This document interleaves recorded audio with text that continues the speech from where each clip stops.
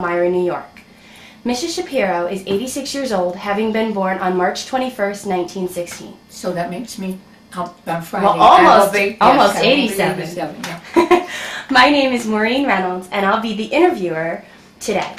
Rita, could you state for the recording what war and branch of service you served in? Yes, I, the war was WW2, Okay. and I went in as one of the original WACs. But throughout the years, the status was changed. The WACs were no longer on auxiliary, and therefore they went into the branch of service that they were serving at the time. So I was uh, in the Air Force, Great, great. And what was the highest rank you ever achieved? captain.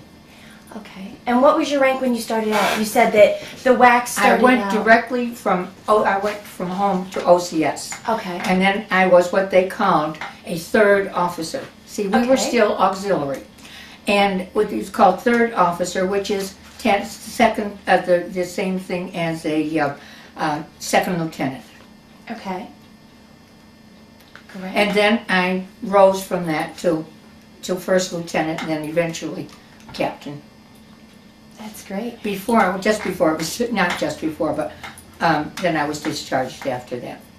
So you weren't a captain. I was captain long. there for, for uh, about, oh, six, eight months, something like that, I think, as I Right. recall. Yeah. A lot of this is memory. That's all we have to rely Right. on, right? Right.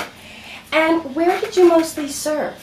I was originally, I was sent from OCS, I was sent to Miami, Florida. And then I was sent to Orlando, which is where I stayed for the rest of my service. And when did you um, first enter the service? In uh, the October of 1942, Okay. I went to OCS. okay. I went to in Fort Des Moines, Iowa, and came out, and um, and uh, that's where they assigned me first. And then the reason I sent me to Orlando was because I had to make way for 400 troops. I had to take care of absolutely everything except their food, and that's what um, that's what my job was in the beginning. Oh, And then I went. Did, did you want this? I want to know the rest of Oh, it. please, please And then continue. I went on to be the, um, um, I was in the, um, I did, oh dear, my, I'm, my mind is getting bad. Um, I was in the, um, service in the, um, originally as supply. And I took care of all the supplies that all the girls need, from clothing right straight down to a desk, to an alarm clock for the cooks, and things like that. And uh, so then I, after that, I was taken to be um, a member of the um, um, of the um, general staff. I was on, put on the general staff also in supply. It was called A4, and um, I stayed there until until I was discharged. And when were you discharged? I was discharged in December of '45. And I, yes, and um, came back to, of course, to civilian life and so on. Enjoyed all my years in the service. It was, uh, even though I went in a little bit older than a lot of the women, I um, I found that it was a, a broadening experience, and um, that was. I hate to use the word maturing, but in a, in a way it was, even though I was older. How It was it? How was it a maturing? Well, because I, I accepted responsibility. Uh, I um, knew that I had to do things on time, not my way, but there was another way to do it. Uh, I just feel that my association with so many different people that I would never have met uh, under any circumstances was so great, and, and talking to them and hearing their philosophy of life and, and their aims, so forth, it, it caused, it was a good give and take, you know, sort of thing. And it was, um, it was very rewarding for me. Great. Now you mentioned you were older than a lot of the girls. Yes. What was the average age of the women that you were with? that I was with, um, the officers were all a little bit older, even though I was older than some of the others who went to uh, OCS. But um, I think most of them were in there, the women, the, the, the uh, WACs themselves were in the 20 range, yeah, early 20. So what made you decide to, to join the Well, if There were several things I don't mind this at all. First of all, I thought World War II was a just war. There was a reason for it. And um, even though we didn't get into it late until late, uh, I felt that uh, it was a good thing to do, not like today. And I had to get that in. Perfectly fine. And um, I, I just, uh, also, I was the first generation American. My father had done well, and uh, we were, you know, middle class. And um, uh, I felt that that was important. And um, there were no boys in our family. And I felt that I had to represent the family. And um, so that, that, and I felt that it was, um, it was the right thing to do at that time. I had no ties. So it was right for me. Now you said you were a first generation American. Where were your parents? My parents were both from Poland, Warsaw, Poland, and they came over. My father, they both came over very young, and uh, they were engaged when when my father came over, and then my mother followed afterwards, and then they were married. Oh, that's Mhm. wonderful. Yeah, and I had a sister, and she has subsequently died. But uh, there were just the two girls, and that therefore I felt that it was my place to do something. Did your sister do anything with the war? No, or- she did not. She had, she was married, had a family, and she was bringing them up, and she was very active in the community. Mhm. So, I mean, she did her way, her, those things, you know, as she saw fit as they came up, I would imagine, yeah. Did I know it's it must have been hard to kind of know what to expect when you went there, but did you were you shocked by anything that you experienced or did it meet your expectations? No, it didn't, as a matter of fact, I went in totally expecting to do whatever was, well, I was called upon to do. And as far as my expectations, uh, I really didn't know what to expect. Mhm. I just felt that it was, you know, that it would be, it was an, it, it was also, uh, I think because it was an experience for me. And it was something that I wanted to do, that's all. Now, did you ever hope did you always want to stay sta- stateside or did you ever have a chance to go Yes, uh, I was sent to Commanding General Staff School, which is usually a, um, people who go there usually go overseas, and it's a preparation, it's a three-month course in Fort Leavenworth. And um, uh, I was supposed to have gone overseas as soon as I was through, my trunks were packed, my trunk was packed. And uh, now to go back a little bit, uh, I was dating our chaplain, our rabbi, and through him I met the head chaplain, and the three of us did a lot of things together. We was, we were all good, real good friends. When he had just come back from the Pacific Theater, and when he heard that I was going overseas, he went to the commanding general and asked to have my my orders rescinded. He did not want me to go. He said he had seen too many things that were bad physically mm-hmm. for for the women. I mean, they got they got these diseases and their hair fell out, and I don't know. I- This is just hearsay. I mean, I never followed through, and I never really found out about it. But he saw he felt that uh, the, these girls were um, who were over in the Pacific Theater were subjected to more things than people really knew about. And it wasn't that they were their lives were endangered so much as what uh, what they were subjected to, the fear possibly, and and and the diseases and so on like that. So I didn't go overseas. I was had to be content to stay. I was very angry, but. Um, I wondered. yeah, I was very angry, but then, I mean in a nice way, because I could never be really angry with him.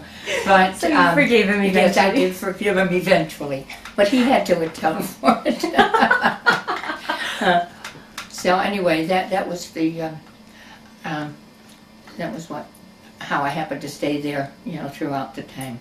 And then um, I, when I was ready to um, to be detached um, and go home, uh, I was offered if I would stay. They said they would give me my uh, my uh, look look what is it? Um, well, anyway, I'll think of it. Anyway, they they uh, they promised me a, a promotion, and uh, I said no. I was going out. It might set my time. I had I had done what I had wanted to accomplish, and there was no need for me anymore.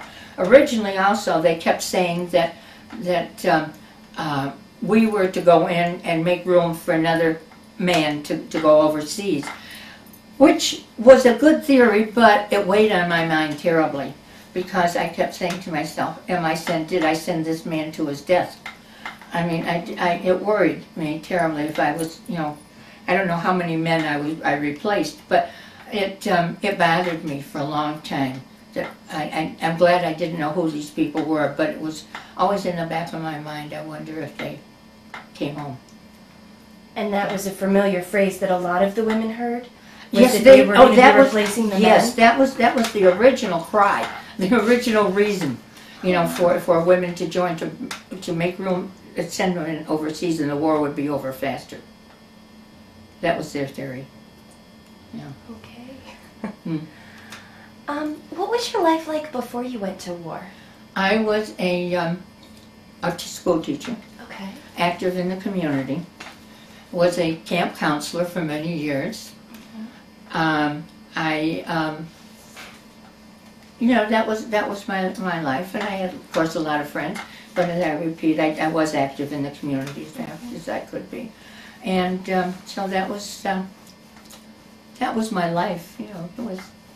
What grade did you teach? I taught junior and senior high school, mostly senior high school in, in English and history. So then you uh, went on to become part of history. Yes, right. That's right. So then you mentioned when you were discharged in 1945 Yes, that you went back to civilian life. right. Was that a hard adjustment for you? Well, my, my situation was different. My father, we found out shortly after I got out. Incidentally, I came home and uh, uh, hadn't thought about this in a while. Uh, a friend of mine who had gone to OCS, to um, command school with me, and I decided we'd go skiing. So we went up to the Chateau Frontenac in, in, uh, in um, Canada, and I broke my ankle skiing. So my leg, I was in a cast, and I, I was going around trying to find jobs. And I was very, very upset because they wouldn't take my application. I was a woman, they had to save the jobs for the men. And not the fact that I had served in the service, you know, the same as the men, they wouldn't even look at my resume. They wouldn't even consider it. Oh. So it was a, a question of my of having to go on. However, my father got became very ill and had cancer and died within a short time. In the meantime, I became reacquainted with a man that I had known when I was very young, and we had remained friends throughout the years. And I started seeing him again, and we were married. So I went from the WACs to my father's death to marriage, all within a very short time. Oh, wow. Yes. And then after all of that, were you able to finally get back into the working world or did you stay home? No, I stayed home for a while. My husband, uh, my husband and I were in a business, and I went into the business with him Mhm. um, later on, after our kids were grown. What kind of business? We had uh, women's wear. We had a small chain of, of women's wear stores, sports, uh, sportswear, and so forth. Yeah. And I did some of the buying, and and uh, when I had to go into New York to do the buying and so forth. And how many children did you have? Two. I have a girl, a daughter, Julie, who is a painter, an artist, lives in, in uh, Medford, Massachusetts. Um, she has a son whose name is Jason. He lives in California, and he is a writer. My son, Jer- Jerry, was with us in the business for a time, and then he was killed by a drunken driver. Oh my. What? When you were down, when you were stationed in Orlando and then Yes. Miami, I imagine you had some free time. Yes. What did what did the ladies do, or some of the gentlemen that were with you too? What did you do to pass the time? Oh, we had lots to do. We were, I went to museums. It was you know as much as I could, and also um, we just um, we played a lot. We swam and we played, and um, we just um, uh, I don't know what else. I kept my of course I read a lot, which and um, I can't I can't begin to tell you what we did. we would just we just went. You know, if we few people were free and you know we'd go together and go go to Miami Beach or travel around. Some we'd have a car, but I was only there for a very short time. But when I was in Orlando, there was dating, and there were uh, there were a lot of activities, you know, that I took part in. We could go into Orlando as much as we wanted to, and you know, on our time off, and um, uh, sometimes we took trips if we had the time, and um, it was. Um, we didn't have that much time, I must say Mhm. that. We really didn't have that much time. But um, we managed well, and we, we did, you know, we did what we could that we wanted to.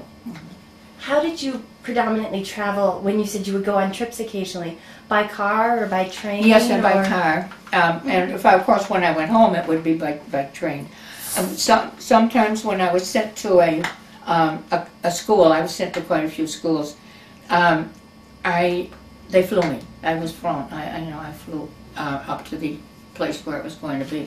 But as far as the activities are concerned, um, one of my dear friends, a couple of my dear friends, had cars, and um, and they and we used to go to. She was from Tampa. My best friend was from Tampa, and so we used to go and visit her her home, and then we visited. Um, they had a, a cottage or big home on the bay, and Tampa Bay, and so we used to go there and spend a weekend just resting up and doing the things we wanted to do, Just relaxing. just relaxing. Now, have, were you able to stay in touch with her after you were discharged? and did for a while, and then I lost track of her. She was um, she was a very interesting woman. She was um, Irish and and Spanish royalty mixed, and she had the high the red hair and the high cheekbones, and she was she was beauty. She was also very very bright. She was the head WAC officer in um, in Orlando. She was the a captain of the of the I mean the, he- not captain the the head of the um, um, all the women that were there. How many women were there with you? Well, I think it finally grew. When I went there first, I was the only one. Um, then I, I made way for the 400 troops, and then it grew up. It grew. I wouldn't be surprised if there at one time were about near a thousand. Wow. Six, six, 600, 700. I, I can't. I really don't know. That's something I'm going to have to look up. That's great. Was there anyone else from? Were you living in Elmira at the time that you joined up? Oh no, I was living. My home was Binghamton. Binghamton. I went out of Binghamton, and only came here as I, when I married. Oh, okay. Yes. Was there was there anyone else from the Binghamton area? Any other women that went with you? Yes, did not with me, not at my time. I was the first one who went, and from Binghamton area, as an officer, and um, so I just um, I didn't know very many you know people, but the ones we were in OCS, I had I had dozens of friends. You know, they were all great women. I thought, yeah. So you mentioned that you stayed in touch with your friend from Tampa yes. for a while. Was there anyone else you were able to stay in touch with? No, I have not. For a short time, I kept in touch with a few people, but then they went their way and I went my way. But I had a very interesting experience uh, just recently. A um, oh, spelled something on there. Um, a um, my one of my my sergeant uh, when I was in in um, the company doing supply uh, was a, a wonderful girl, and she came from Salt Lake City. And uh, I decided that I was going to see if I could find her. And just last Christmas, I found her. Oh, And she still lives in Salt Lake City. And we've talked on the phone two or three times, and we're going to be, you know, we're keeping in touch now. So it's really very exciting that I saw her. I mean, I got her, and uh, I would love to see her, but um, I'm not so sure that we'll How be did able you to find manage her? through the computer, naturally. And we went to a woman who was doing how my my daughter's significant other was with us, and he was he's real crackerjack on the computer as he's doing. and uh, we found one woman who was doing work with uh, um, getting people. Uh, uh, finding people, you know, who were in the service and so forth. So we contacted her, and fortunately, she lived, we found she, she had somebody who lived in Salt Lake City. She got a hold of them, and then they, I, uh, I could only give her her maiden name. Mhm. And so we, through that, we were able to find her. And so I called her right away. Yeah. Oh, And it was great, yeah. No, it was great to, to talk with her again. But all the rest of my friends um, Cougar, I, I think most of them have predeceased, yeah. I, I think they're all, most of them are gone. As far as I, I've been able to figure out. Now, you mentioned that this woman from Salt Lake City was a sergeant. Were um, a lot of your higher ranking, a lot of the higher ranking officials, were a lot of them women? Were you all sent to replace the men, or were did you have some commanding officers that were men as well? Well, no, let, all right, in the company, in the Okay. WAC company, it was run by a woman, a Okay. Or, I just told you, the, the, woman, the woman from Tampa. Thayla, Thayla Stina is her name. And um, she was the head of all the WACs. However, I went out of her jurisdiction when I was taken over to the, um, to the, the um, general staff. Yes. So I was no longer affiliated with her, I was affiliated with the Air Force, totally with the Air Force. And uh, that happened to a lot of the women. However, our barracks were the same. I mean, we lived with the other girls and other women. And um, uh, we retained all the friendships, you know. So, yeah. What was barrack life like? Hectic. It was hectic, but um, we had two long um, barracks with in the middle was the was the washroom and the johns, you know, the showers and everything else. And we would go back and forth, you know, between the both sides. Um, they were always yelling, "Who has, you know, who's in the shower? When can I get the shower? Please get out of the shower. Um, I have to wash some clothes. I'll give you, you know." It was just it was just fun, though. You know, we just had a good time at it. There was never, and everybody was going her own way and um, and some of them were transferred out, some of them stayed, and um, and um, uh, it, it was fun. It was like a dormitory, Com- comparable to a dormitory in college. Yeah. hmm Now, did did you ever go to college? Did you have any college Yes, I was. A, training all? I, I was a. a uh, you mean since I I, I, I Um, got either my, before or after Oh, when I went to, um, after I graduated from high school, I, I graduated from Syracuse University as a teacher. Okay. And then, that- then that was it. And the only schooling that I had after that related to the Army Mhm. and things that I was doing. Did the training that the army gave you did it, did that help with your later life Oh, yes. with with the business with your husband? Yes, um, it, it it really did. It- As a matter of fact, I changed some of his office work, office things around because, uh, you know how the Army is. You do everything in triplicate and then throw it away. But um, it was, um, I, I, you know, got my husband to do some of the things that worked for me in the Army.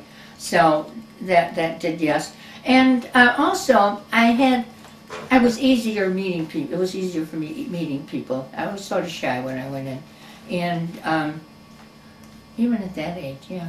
But um, it was, um, as as far as my work and everything, I feel that the Army did give me good training that I carried through.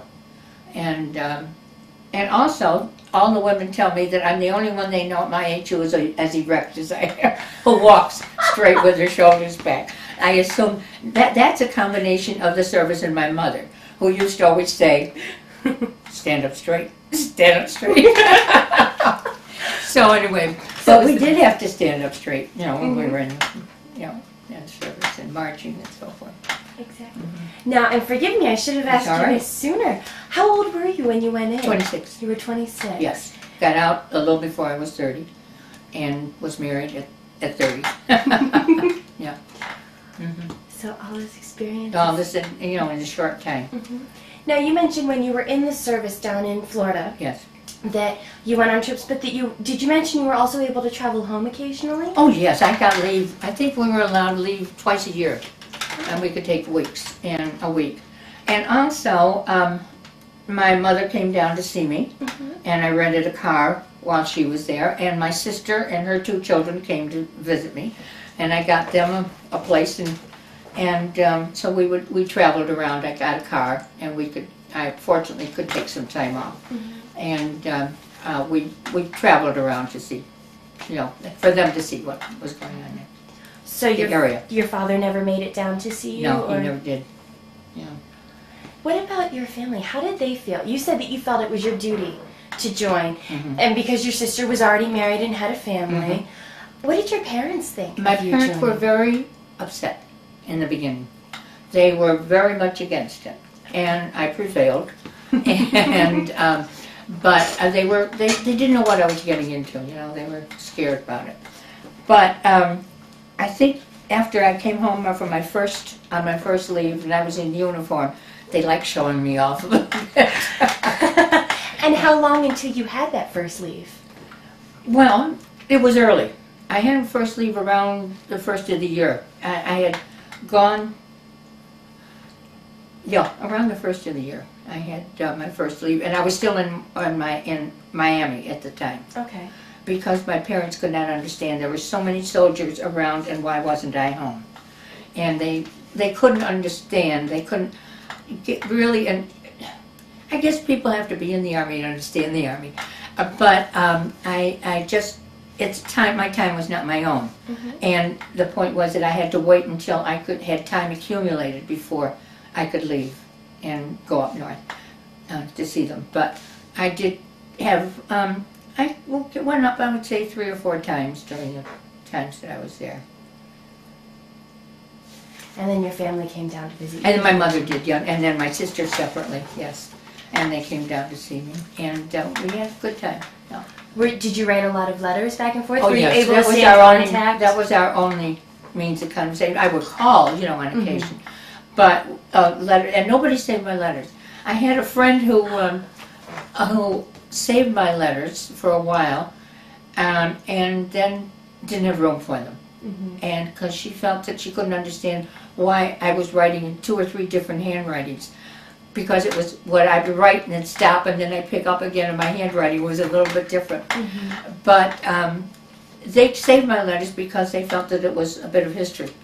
And then they somehow had to get rid of them. I wish I had taken them. Now, Yeah, were but- most of your letters written like that, kind of in segments? Didn't always have time. Yeah, I would do some in my office if I if I wasn't busy at the typewriter, and um, and then I'd have to to go away. I mean, something came up would come up invariably. If I had ten minutes at a time, it was a lot. So I would, and when I got home at night, I was tired and I wanted to do reading, and the lighting wasn't so good, and you know that sort of thing. So I did most of my writing by, and my handwriting was awful. so they all appreciate the fact that I type in most instances. Makes sense. Mhm. Hmm. Well, now we've touched on a lot of things. Is there anything that I haven't asked you about that you're interested in sharing, or any feelings or stories? I just, oh yeah, there are lots. You know, I'm reading my memoirs. I don't know whether I told you that No, or you didn't tell. At the insistence of my children. Well, good for And, them. uh, and so I, a lot of these things are in my mind, but a lot of them are personal, and I'm not sure that I want to, you know, um, Share them. share. Yeah, but um, I did have a good. I, I did, did do well in the service. I just. Um, here's an interesting one. I had written a, a big, a long paper. I was doing supply, and I was also doing stock control. We had a lot of satellite stations throughout Florida, and I would have to go and see how their stock control was and that sort of thing. And I had to write a big record, and um, of what they all had, and uh, it was to go to the um, Pentagon. And um, I uh, got the thing ready, and my boss was wonderful. He said, "I will send you up in a plane as long as they insist that you're doing this. I'll send you up in one of our planes."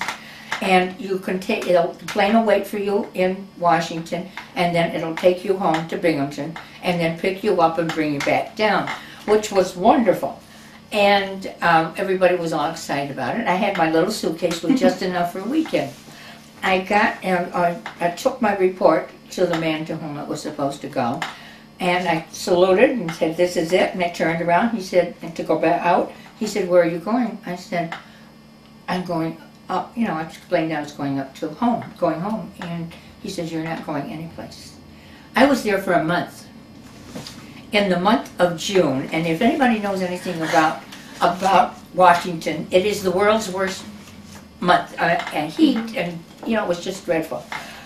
But and the awful part of it was that during the war there were no rooms, and I had to live almost day to day, they would tell me whether I could stay on at this hotel. From, almost from day to day, and I was there for a month.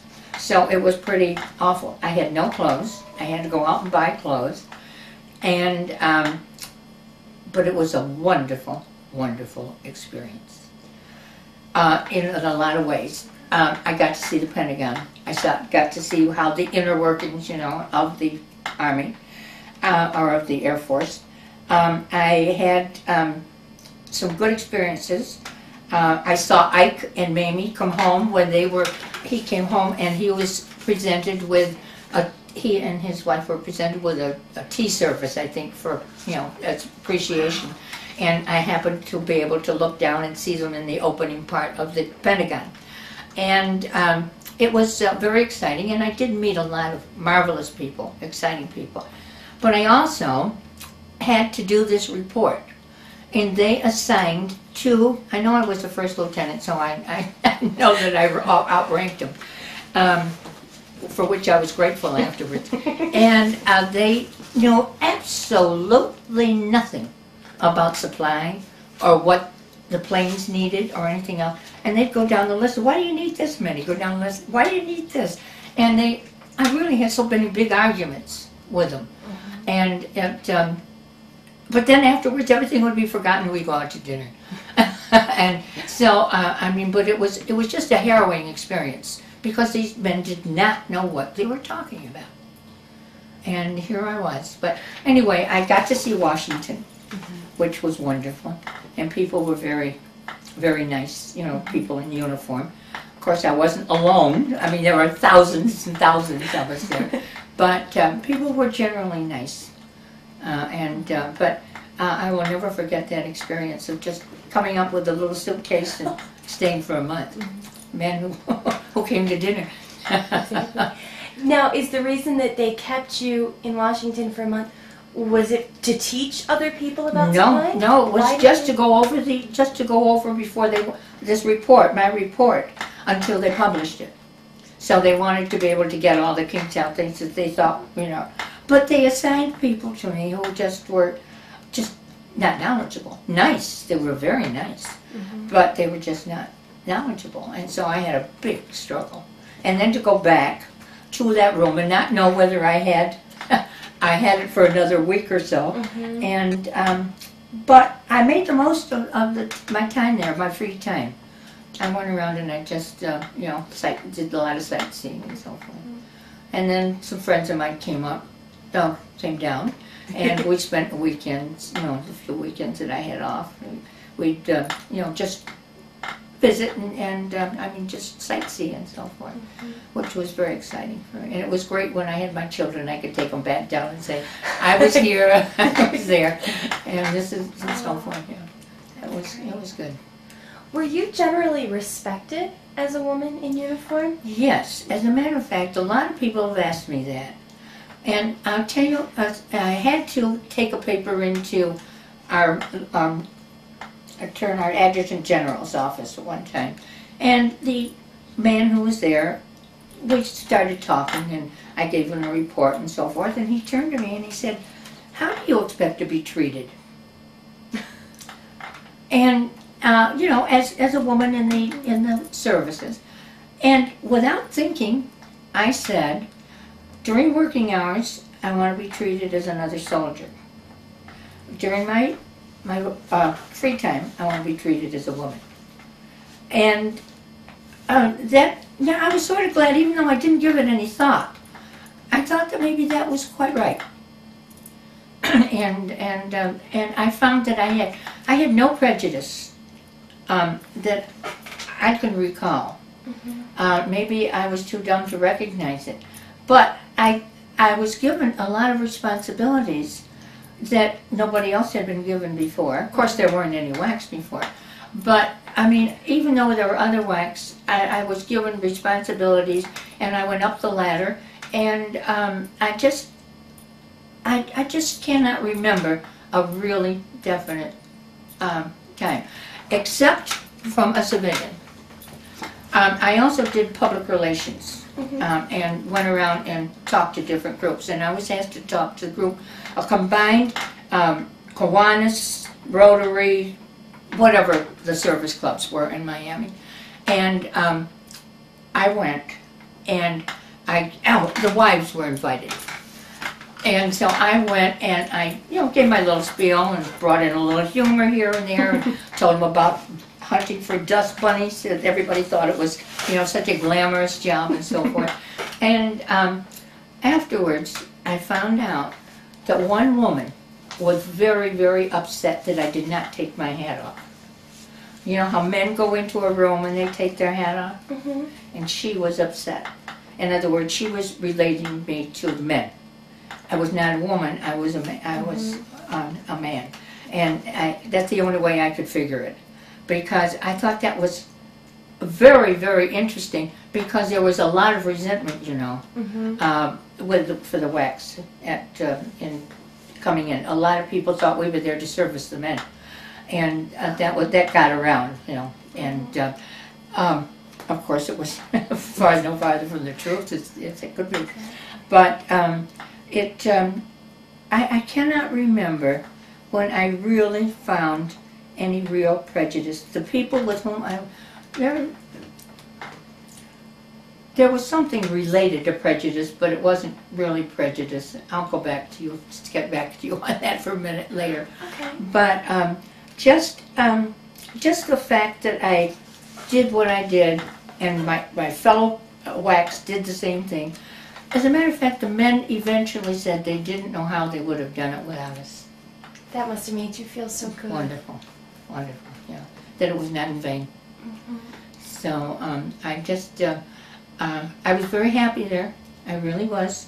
And um, as I said before, I'm repeating myself, but I think I grew just from those experiences and um, was able to bring that to my marriage and my, my life afterwards. So you've never regretted it? Then? Never regretted it, not for one minute.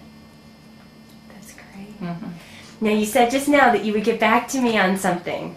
I'm not going to let you forget it about the not really an instance of prejudice, but Wait a minute, let me think.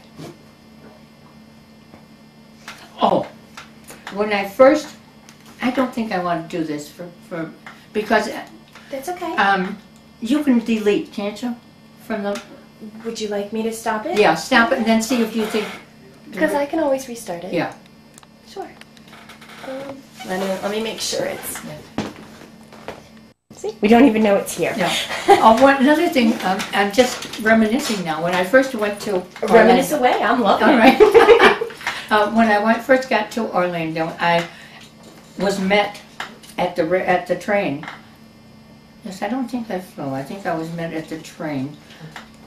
Oh, remind me, flying. Okay. Um, I was met at, the, at by um, a staff car. Now, if you know anything about the service, nobody has a staff car except a major on up. Mhm. I was a lowly third officer, second a second lieutenant, and I had my own staff car.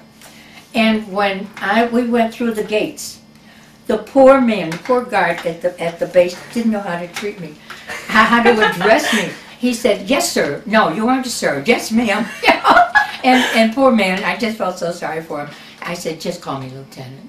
and and then he, you know he let me through, but he was so flustered he didn't know Oh, what to do. I didn't. I had the car for a short time, and he did not let me have it for all the time I was there. But uh, it was very nice and generous of him to do that, and he was a, a really a nice man. And he and his wife were, lived on the base, and they sort of took me under their wing. Whenever he saw me, he said, "How you doing? What can I do for you? Uh, if you need anything, don't forget I'm here for you." So it was it was really very nice. Yeah, he was very nice to me. But the staff car just threw me, and as it threw everybody else. And as we drove down, everybody stopped short, you know, and looked and saw a woman in uniform in the staff car. They couldn't they couldn't get over it. They thought it was funny. Oh my goodness. Another thing along that line, not along that line, but I don't know why I thought of it. When I was at staff, our command general staff school, there were people from all over, uh, uh, pilots and, and air people from all over the world. And there were a few men from Czechoslovakia. For some reason, we were sitting alphabetically, I guess, and a couple of them sat near me. And we became good friends. And these men had to have a certain number of hours every month of flying time, which they have to take care of. Well, they asked me one time if I would like to go up with them. And of course, I said yes. and anyway, we went up on this plane. They did, he did everything that you can imagine with that plane. He did loops, he did dives, he went up straight, he, he went, you know, in circle, you know, what, I don't know what, what you call it. can't remember. Loop-de-loops? What? Loop-de-loops? Yeah, loop-de-loops, everything he did. And I was, sure I was scared. but when, the, the point of the whole thing is though, that when I got down on the floor, on, on the ground, a group of the men met me with a mop and a bucket.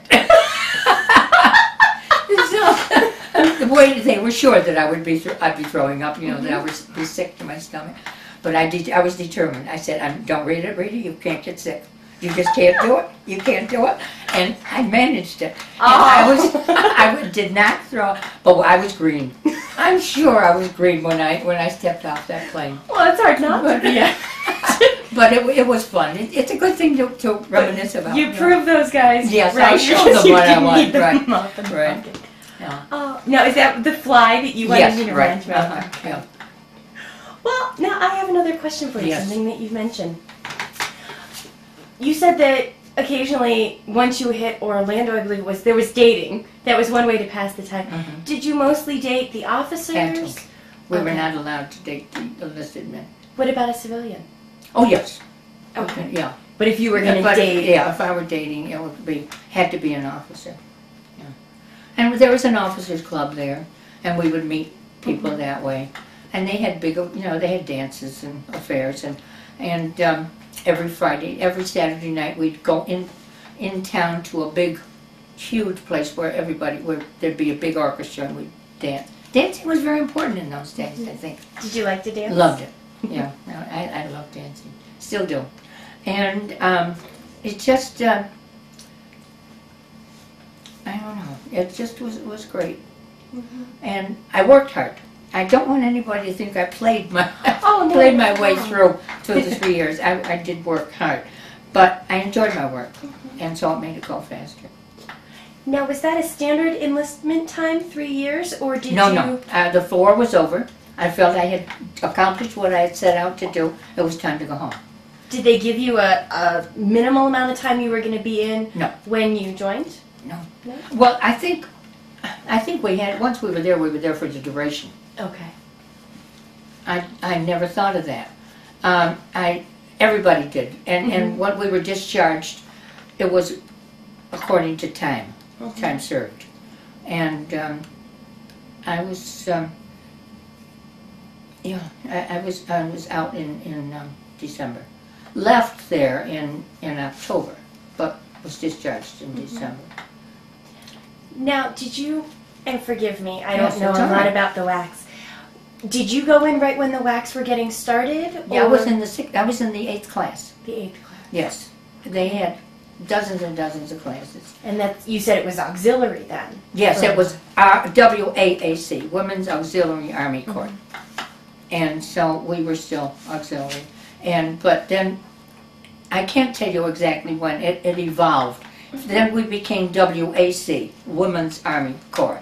Then, after that, we were, or took on the service that we were working in. So I became Rita Iship, no, Rita Eisenberg, Captain, Air Force. That's the way everything was signed, everything I said.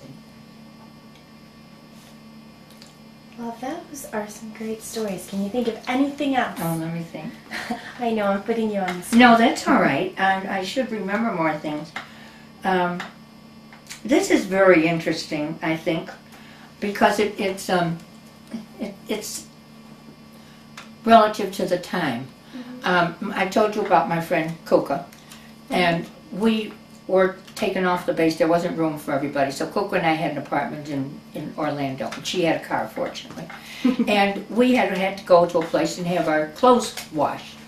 And we found this woman, black, mm-hmm. to whom we took our clothes. And so I went with Coca, and we went into the woman's house, and I called her Mrs. whatever her name was. I didn't know her, and so forth. And when we came out, Kuka reamed me up and down my spine. I didn't, we didn't treat, call black women by their name, by their married name. We called them by their first name. So, which of course led to a lot of conversation between the two of us. And uh, she came from a very wealthy family. Her father was the um, uh, kingmaker of the state of Florida.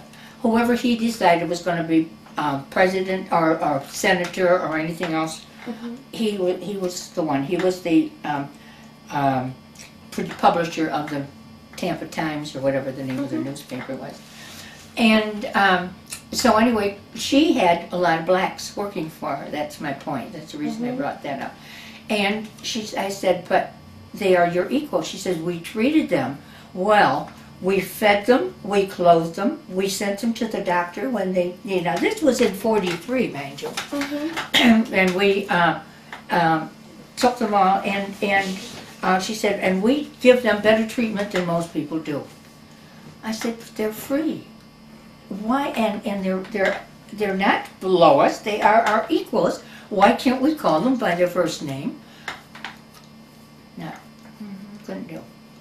And so this, this I thought was very indicative of the times in the southern states. And um, I also had another one come to think of it. Wanted, Coco and I were going to, wanted to go to a resort that she knew about. And uh, I stopped and I said, Tuka, I think you ought to find out whether I will be welcome at this place. I am Jewish. I'm not sure that I will be welcome. She was got very indignant and said, Of course you're welcome, you're with me, and, and that's fine. I said, Do me a favor. Before you and I are both embarrassed, call them and ask them, or give me my give them my name, because my name Eisenberg was very, you know, they could tell I was Jewish. And um, she came back, chagrined. She said, You were not welcome, would not have been welcome. They would not have accepted you there. Now, those are the things we were fighting for, weren't they? Some of the things, the black and us, prejudice throughout the world.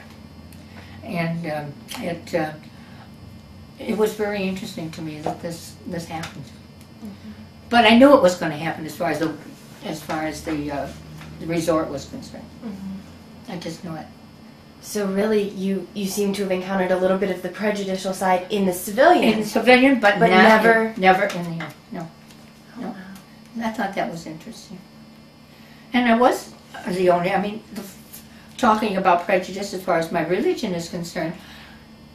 The fact that they sent me as the their emissary to the new base, I thought showed mm-hmm. no no prejudice whatsoever. None. And a lot of the things that I did, there was no prejudice involved. I climbed the ladder pretty quickly, and and um, uh, I just uh, I really feel that there was not any prejudice as far as I was concerned.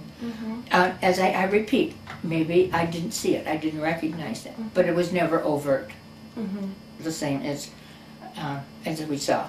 Otherwise, Oh wow. Yeah. Amazing stories. Can you think of anything else? I know I'm putting you on the now spot. you are. Let me but- think what else I can tell you. Is there anything else about um, something that happened after you came home from the war? Anything that you remember? Yes, I- when I told you, there was prejudice against women. Mm. Uh, when I Because went to they get a wouldn't- job, they wouldn't. They, I- they wouldn't even look at my resume. I said I was in the service too. And they said it doesn't matter. We have to save them for the men. All the jobs. The- I thought I would do well in personnel. Uh, You know, I just trying to figure out what I could do, and I didn't want to go back to teaching. I knew that. No. No. No. I, I uh, preferred to go out in the other world. and I just uh, um, was very, very upset and chagrined and everything else. But it worked out just as well anyway because my father dying and then I got married a month afterwards. Um, it, uh, I couldn't, and I moved here to, to Elmira, so that took care of that. But um, I just, you- Here's a funny one. No, I don't know this one. I won't tell. Are you sure? Uh, No, it was. Um, I told you when I was going with the was the rabbi, Mhm. uh, the chaplain, and he had a lot of people who, for whom he was. Um, oh, remind me, I have another one. Okay. say, any- say, any say mom and papa. Okay. And um, um, they, uh, a lot of people were interested in him and sought him out, you know, and so forth, because he was one of the few religious leaders, you know, around in the community.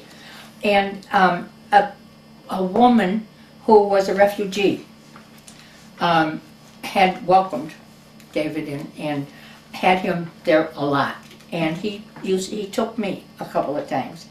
And she resented me like you would never believe. She Oh, resented me the fact that I was in the service and that I was another woman. And that she, he should, I mean, she was married. Mhm. And she felt that she had dibs on him. so it was funny. It was funny the way different people react. Mhm. Um, no, um, Mama uh, and Papa. Yeah, mama and papa. There was a young a couple uh, who owned a store. I went into a store in downtown Orlando, Mhm. and I talked to this woman and her husband, and they were, you know, they recognized the, uh, the uniform, and so they were concerned. And they asked me my name and and um, all that sort of thing, and we became very, very friendly. And um, all I uh, all I had to do was call them up and call up their woman who was their housekeeper because she was she was never home. And I say, set set another place at the table. I'm coming in. Oh. And I, and if I felt like staying over, I could stay over. They were my parents while I was in Orlando. They were wonderful to me. And then after I was married, we went down to see them. I wanted them to meet Jess. And we went down to see them, and they were thrilled with him, and he was thrilled with them. But they were such sweet people, and then they died shortly after that. so they both were an them. older couple. Yes, they were much older, you know. I mean, that's why I, I used to call mom and pop, you know, and uh, they were good to me. Really nice, very sweet. That's wonderful. hmm Now, and I thought of this when you mentioned that you and your husband had the women's wear store, Yes. and it was in Elmira. Yeah. Where was it at in Elmira? Sport Togs? Does that mean anything to you? What is Sport Togs?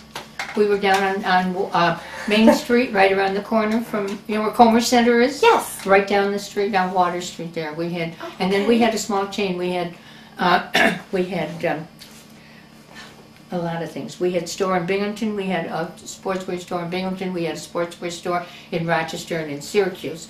And then my husband was originally in the millinery business, so he had a lot of stores that we called. Um, oh dear, I'll think of it in a minute.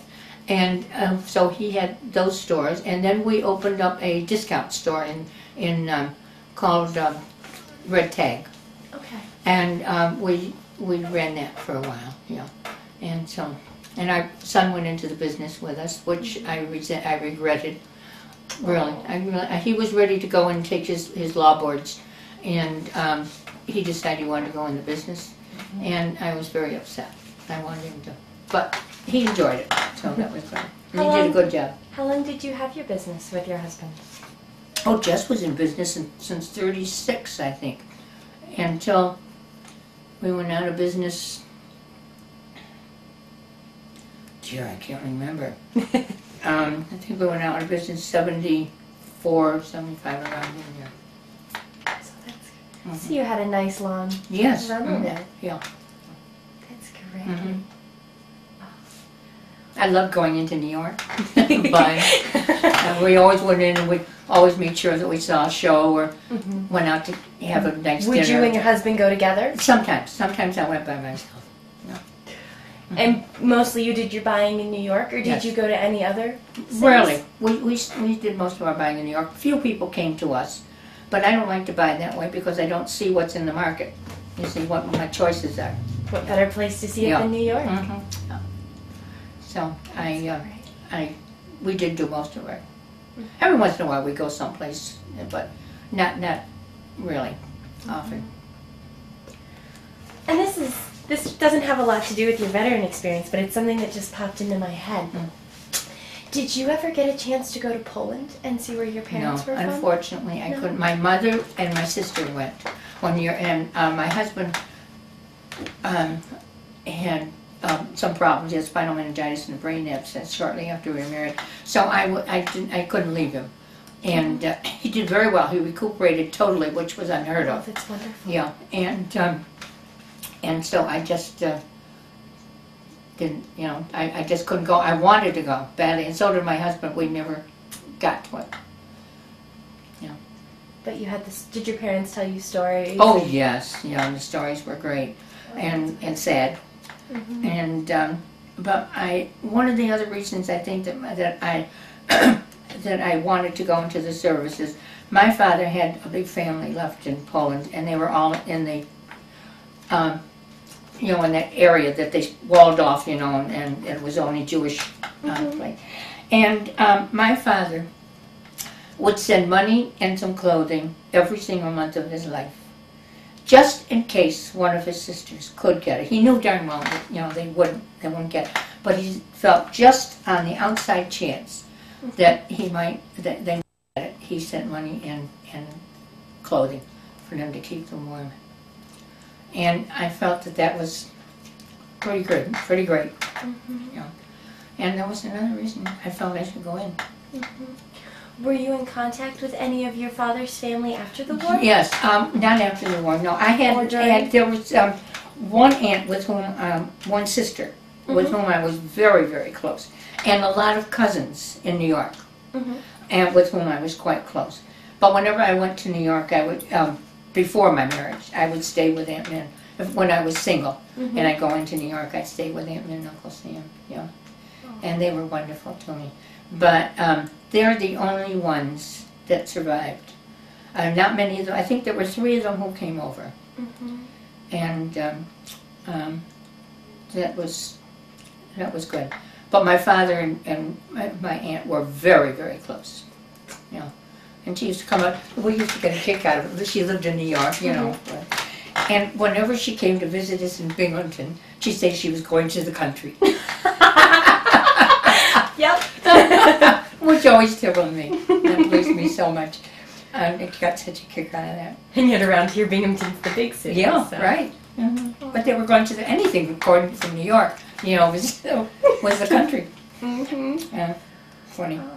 Wonderful. But um, I'm just trying to think. Um, there were so many things that happened, really, when you get right down to it. But a lot of them were personal. Mhm. and um, it was just um, I don't know. I just I wish I could think of some more now. I have them all in my notes. I didn't look at my notes. If you'd like me to, I can switch tapes if you do want a minute to think about it. No, I don't think so. I think I think think I, you're okay? I think. Have I satisfied you? Have I have I? I could listen for hours, so that's a bad question to ask. Yeah. But no, I've enjoyed this. This has been wonderful. So- All I can tell you in the, in the, in the um, summing up of this whole thing, I think the WACs made themselves a really important place in society and in the Army. And I feel that um, it was a wonderful organization. It was the forerunner now. Look at what the women can do now. They are in with the men, except, of course, in, in you know, battle. But um, I, I, I'm glad that I was part of that. I opened doors. We, we opened doors for women all all over the country. And speaking as a modern day woman, I'm very thankful to you for that. My, thank you. No, Because it's true. yeah, it is You true. did open a lot of doors. Mhm. Yeah, that that was one of the most gratifying things for me. And of course, my kids used to kid me and say, "Mom, you must have been one of the original woman's livers." Uh, Um, but I But did it's fight for things. Yeah, mhm. Yeah. That you obviously felt very strongly about. Yeah, yeah. Well, thank you, Rita. you This are most welcome. Yes. And so this will be the end of the tape. Well, that's good. And we will stop it